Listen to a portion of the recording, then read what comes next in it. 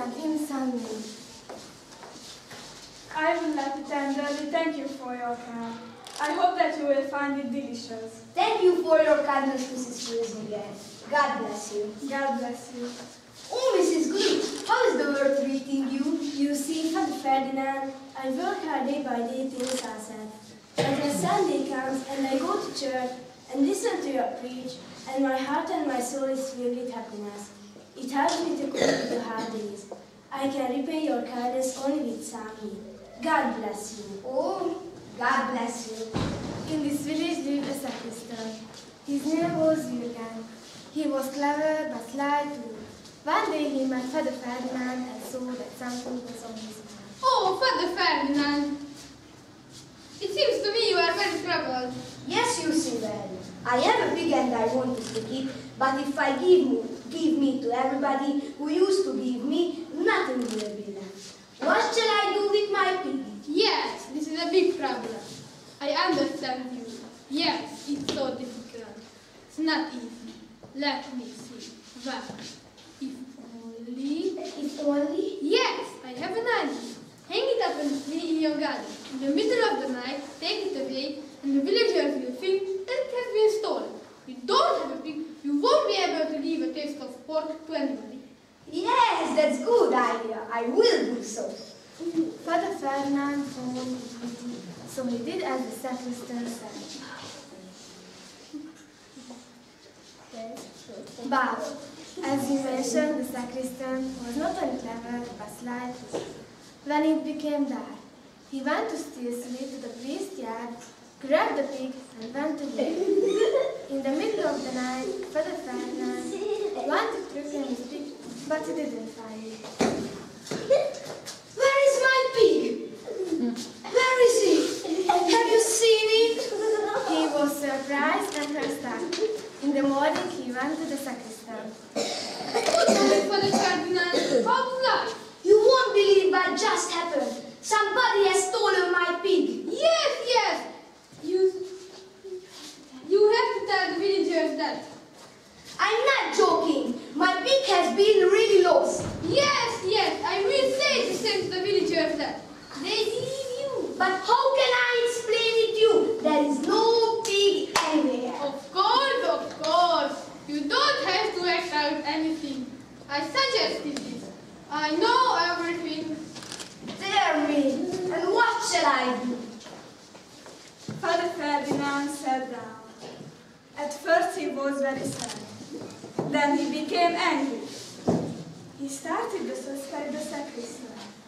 He found out something tricky. His mother-in-law was very kind. Her name was Matilda. He asked Matilda, who had in a wooden box, to overhear the sacristan. Be careful. Please careful. He took the wooden box to Jürgen's house.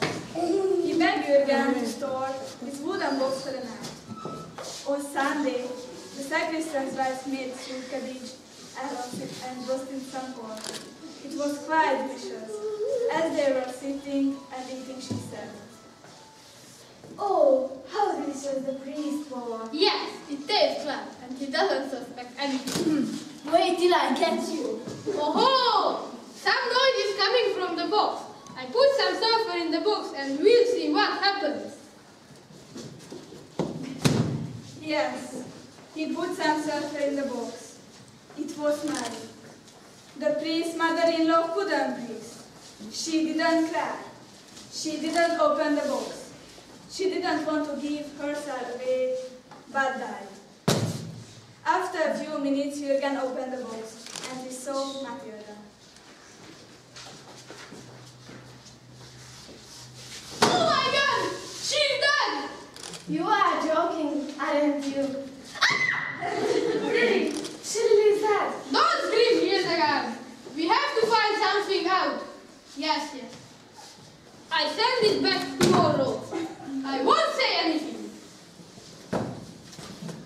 Yes, it is so. He sent me my body book. When Father Ferdinand opened the box, he was shy. Bless me! My mother-in-law Matilda died.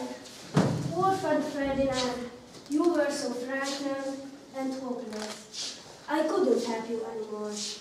Did you think that the sacristan had a hand in the pie? Yes, I have an idea. Jürgen can help me. He is so clever. I have to go to Jürgen. Yes, and we went to Jürgen. Good morning, Father Ferdinand. It seems to me you are in trouble. Oh What's my- the matter with you? Oh my god, it's my mother-in-law Matilda that died. It happened so suddenly, the villagers will think. I don't look after her. Could you help me, please? It's not a piece of cake. Please, help me. All right, I might help you, but it's very risky. Yes, I know. Will hundred gulden do it? Yes, it will do.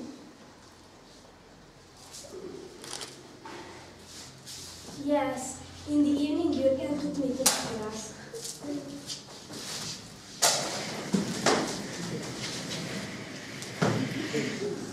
There he saw a grocer. He was sleeping. He had a big wooden box. Jürgen opened the box, took out the goods, and put me into it. And he was waiting. Early in the morning, the grocer woke up and came to me. Good morning. What are you selling? Good morning. I have many kinds of goods, but the best is a black cloth. Anyway, do you know anybody who wants to buy it? Yes, I know. Go to the next village. There's a priest. His mother-in-law died. He needs the money. Thank you for your help. Not at all. Goodbye. The grocers went to this village. He found Father Ferdinand's house. He knocked at the door. Good morning. Sorry to trouble you, but I have heard that you need a morning help. Yes. My mother-in-law Matilda died. God rest her soul.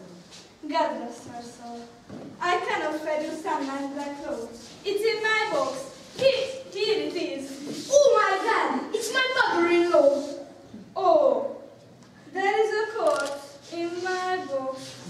And what shall I do? Jürgen buried her. And- But how did she get into this box? I have to go to Jürgen. Thank heaven! I found you! What's the matter? My mother-in-law is the grocer's box. How did she get into this box? I don't know. I buried her. Maybe she's a witch. She has returned. Please help me. All right, I might help you. R- hurry. Let's hurry.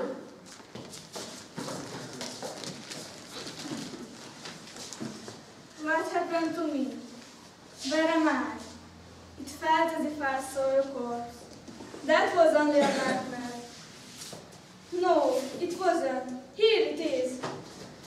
Here is Matilda. Be merciful to me. Help me, please. All right, I might help you. It costs hundred gulden. Here it is.